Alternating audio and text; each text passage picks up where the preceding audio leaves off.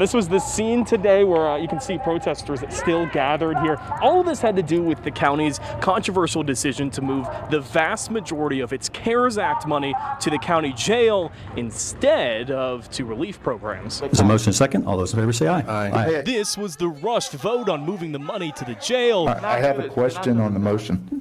Chair is preparing to close. Came before Commissioner Carrie Blumert, who opposes the Which idea, opening could of even bids. sit down. Mr. Hooton. Calvey defending the choice, saying offering county relief programs would just be duplicating what other governments are already doing. I don't give in to bullies. And I don't give in to, I don't pay hush money to bullies, especially not with taxpayer dollars.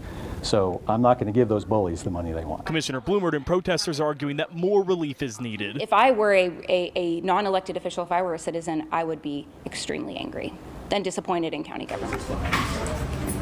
After the meeting, this tense moment as Commissioner Calvey walked back into the room to talk to reporters. This isn't a meeting.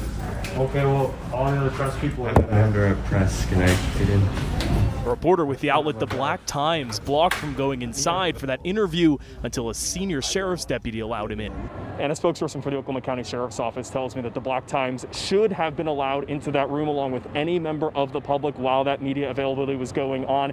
Commissioner Kevin Calvey tells me in a statement that he did not intend to exclude any credentialed media, but also saying that this is, quote, fabricated outrage, unquote, from bullies.